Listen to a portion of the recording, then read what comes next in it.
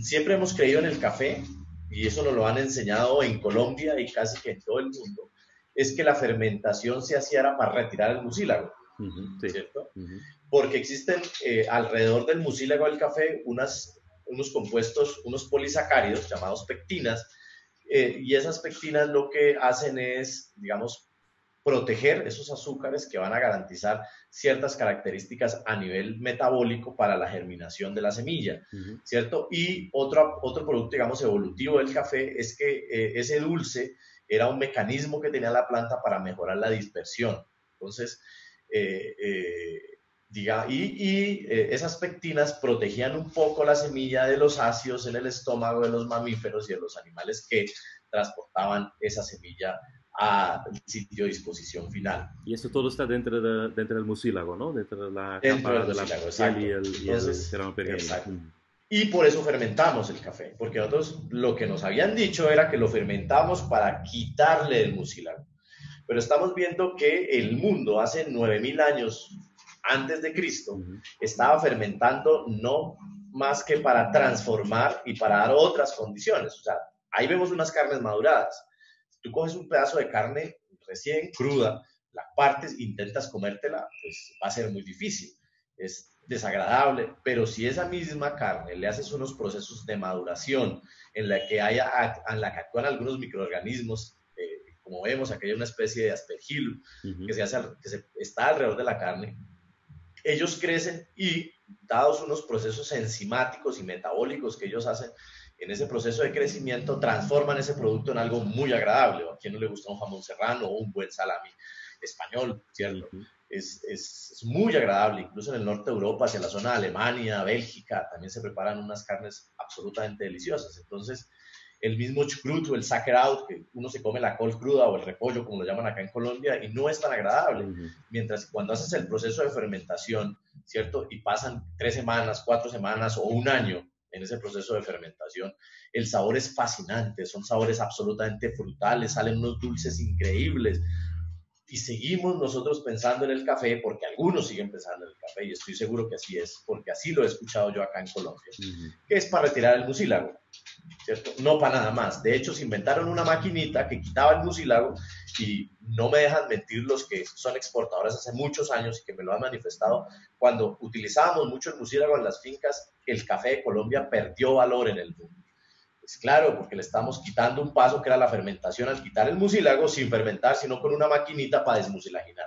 Entonces, son errores que hemos cometido producto no sé de qué, porque digamos que no es el, el tema mío juzgar, pero que no podemos volver a cometer porque nuestro café siempre se caracterizó porque tenía unos procesos bien o mal hechos de fermentación que bien o mal regulados por el campesino hicieron que nuestro café fuera de muy buena calidad y muy reconocido a nivel mundial.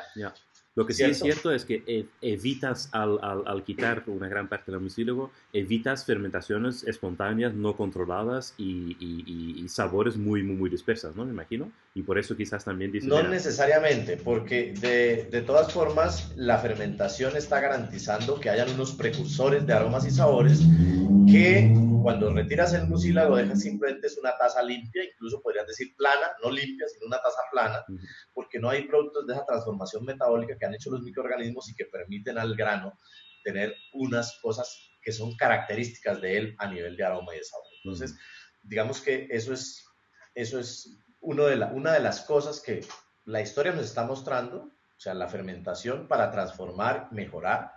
Y nosotros pensábamos que era simplemente para, eh, digamos, eh, quitar el mucílago.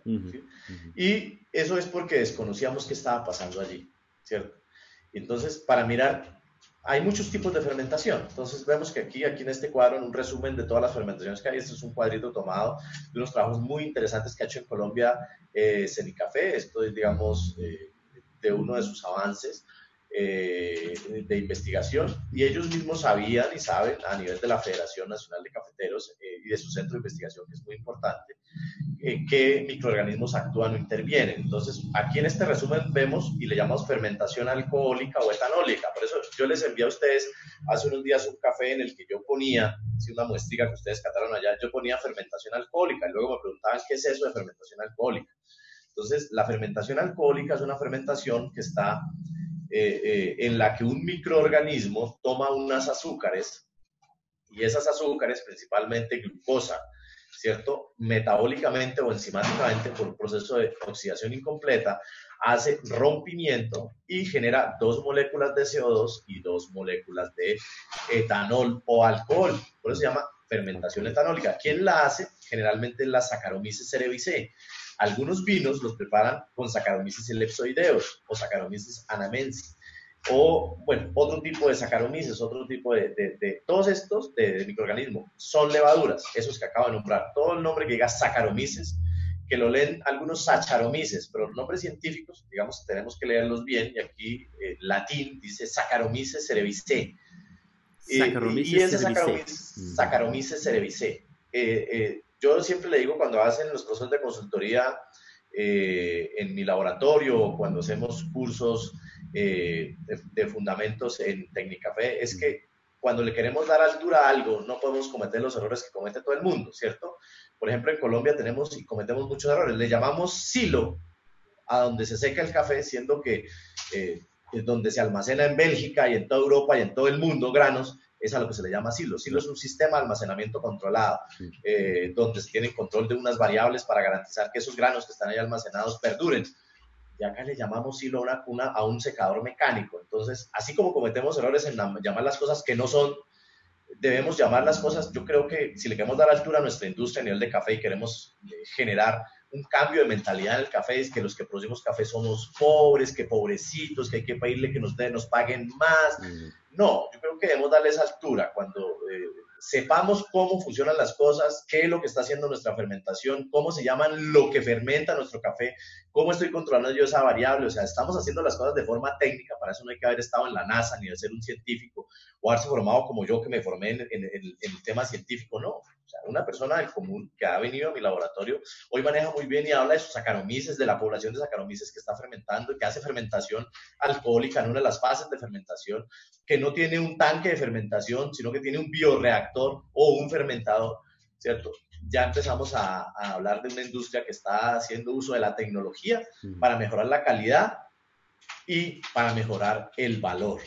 ¿Cierto? Y entonces ya no empezamos a pedirle, venga, papito Estado, deme, porque soy pobrecito. No, démosle nosotros el valor y nosotros le vamos a poner el precio. No nos va a importar cómo se mueve el café en la bolsa, porque vamos a tener nosotros nuestro valor agregado.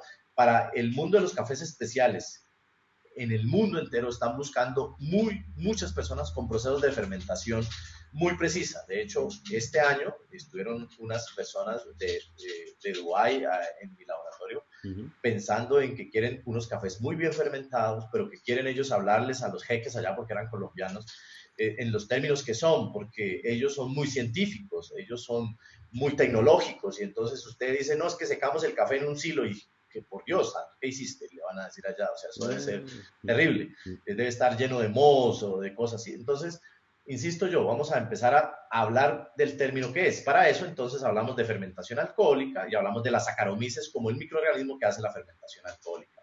Y que los sustratos que utiliza son la malta de cebada, que es el proceso por el cual se obtiene el dulce eh, de la cebada, o algún tipo de cereal, como el sake, por ejemplo, que se fermenta en, Japón, que se hace un proceso de fermentación antes de la destilación. Eh, la, la vid, ¿cierto? Para preparar vinos. Eh, la caña de azúcar, la melaza, incluso el suero de leche, se fermenta con saccharomyces para obtener vino, cerveza y muchas bebidas destiladas, pan, incluso salsa. La salsa de soya es una bebida, es un alimento, perdón, o un insumo que se utiliza en la cocina que tiene un proceso de fermentación y que el proceso de fermentación es un proceso de fermentación alcohólica. Entonces, eh, esa es la fermentación que hace la Saccharomyces. ¿Listo? Entonces, Saccharomyces cerevisiae en el café hace fermentación alcohólica, toma los azúcares y los transforma en alcohol. Pero hay otras fermentaciones que se dan en el café. Hay una que se llama láctica homofermentativa, que lo hacen algunos streptococos, eh, que vemos aquí, streptococos fecales, por ejemplo, que no es muy bueno, pero hace fermentación homofermentativa. Eh, esa es como, digamos, no vamos a meter mucho en el tema de bioquímica. En, el curso de Tecnicafé, que es mucha bioquímica, así lo hacemos y es mostramos el desarrollo de cómo ese microorganismo hace la fermentación homofermentativa y eso cómo afecta la taza en, en, el café. Eh, ¿Cierto? Y, digamos que eso desde el punto de vista, digamos muy resumido, es una ruta corta de fermentación que tiene la bacteria para llegar al final al ácido láctico, ¿cierto? Que es el, el subproducto de la fermentación. En el caso de las Saccharomyces, el subproducto es alcohol, en el caso de la eh, láctica eh, es eh, ácido láctico, ¿listo? Y otros compuestos. Esta, igual que la heterofermentativa, que es una ruta donde hay más pasos, por eso decimos que es una ruta larga, la hace lo hacen varios microorganismos, varias bacterias. En este caso, Leuconostoc mesenteroides es una muy interesante a nivel de fermentación. Y el producto final van a ser lo mismo, yogur, sobre leche, mantequilla y algunos encurtidos en estas dos se dan en la fermentación del Sauerkraut, ¿sí? el chucrut en francés, Sauerkraut en alemán, no sé si Bélgica también. Chucrut, sí.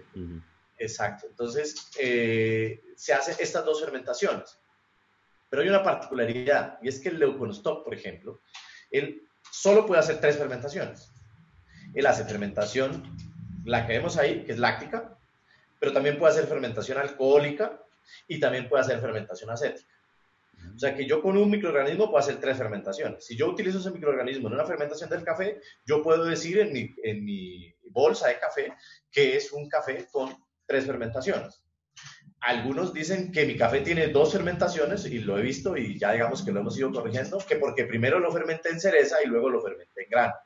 Pero tú qué sabes qué microorganismo fermentó para saber que hay dos fermentaciones reales. Hay fermentación en dos fases, una fase que era en cereza y otra fase que era en pergamino. Wow. Pero no es doble fermentación, mm. ¿cierto? No sabemos realmente. Puedes tener triple o cuádruple o qué sé yo, fermentación, mm. ese que él dice que tiene doble. Pero eso es básicamente por el desconocimiento y la idea nuestra en Biotech es que los caficultores que han trabajado con nosotros en nuestro laboratorio y en Tecnicafé ya tienen esos temas muy claros porque la parte microbiológica, tenerla clara, te permite tener control de una variable. Y una variable que es de vital importancia, porque, y es una de las variables más difíciles de controlar. Ya la vamos a ver al final de, de los slides, cómo, digamos, tienes que incluso hacer unos desarrollos de algunas ecuaciones matemáticas que te permiten tener un poquito de control sobre este proceso.